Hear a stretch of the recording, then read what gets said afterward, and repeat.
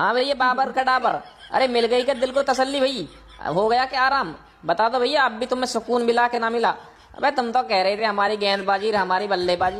अबे, ना तुम्हारी गल बल्लेबाजी है, ना तुम्हारी गेंदबाजी है। तुम्हारी तो कोई टीम ही नहीं है भाई, तुम कबाड़ा है, कबाड़ा रद्दी माल है। तुम्हारी तो टीम के बस का नहीं भाई। अरे, लप्पू सी टीम, तुम्हारी खेलना तुम पे आवे ना, तुम जीतोगे वर्ल्ड कप। तुम रहने दो बाबर, तुमसे ना हो पाएगा। अरे भाई, बाबर आज़म, ये क्या सुन रहा हूँ मैं? अरे सुने हैं कि इंडिया के खिलाफ लुल हो गई तुम्हारी टीम पूरी? अबे हमारे खिलाफ तो तुम बड़े साढ़े तीन तीन सौ पे मैच जीत रहे थे, यहाँ क्या हुआ? कहाँ गई बल्लेबाजी? कहाँ गया जलवा? लगता है जलवे का हलवा बन गया। भाई बाबर आज़म, अबे कहाँ गए नंबर वन बल्लेबाज? अबे ऐसे ही नंबर वन बल्लेबाज हो गए तुम। दो सौ रन भी ना बना पाई पूरी टीम। अबे कैसे भैया इंडिया वालों के जाल में फंस गए? हमारे खिलाफ तो बड़े भैया उछल उछल कर रन बना रहे तुम्हारे बल्लेबाज। कहाँ गए रिजवान और बाकी खिलाड़ी? सब एकदम से लुल हो गए, सबके हवा खुशक हो गई, सबके हवा निकल गई। अरे भाई सना का हमारे सामने तो अच्छा अच्छा कि भैया हवा निकल जाती है, ये तो फिर भी पाकिस्तान वाले हैं बेचारा, इनसे कहाँ खेला जाता है? अबे इनकी गेंदबाजी का बहुत बदला दम भरते थे कि पाकिस्तान की गेंदबाजी ऐसी है, वैसी है। अबे कौन सी गेंदबाजी है, ये तो बताओ।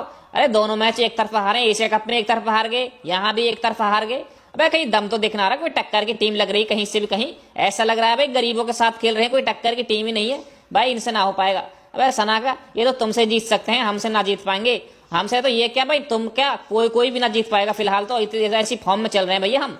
और तुम्हें देखा होगा मेरा बल्ला, भाई वो तो मैं आठ में शतक से चूक गया वर्ल्ड कप के, वरना तो इन सबको और तगड़े से पेल देता मैं, और बहुत जल्दी मैच जिता देता और भी। अरे भाई रोहित शर्मा, बस करो यार, बहुत बेइज्जती हो रही अरे भैया, ये ऊपर से मैच हार गए, तुम्हारी बल्लेबाजी, और ऊपर से तुम्हारी ऐसी बातें सुन सुन करके, भाई मेरा तो दिमाग खराब हो गया।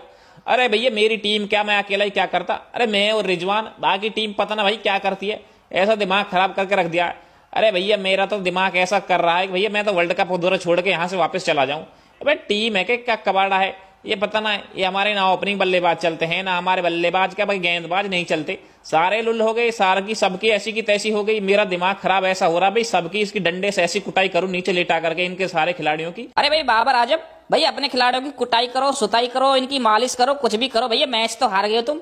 और वर्ल्ड कप में लगातार भैया, आठवां मैच हार गए भाई, तुमसे खाता ना खुल पा रहा, तुम क्या भैया वर्ल्ड कप जीतोगे? और बाकी तुम देख रहे हो भाई, गेंदबाजी का जलवा तो हमारी जैसी गेंदबाजी, देखो, ऐसी होती गेंदबाजी। ये तुम तो भाई पागल वैसे बनाते हो, पाकिस्तान वालों को, तुम्हारी गेंदबाजी ये है वो है।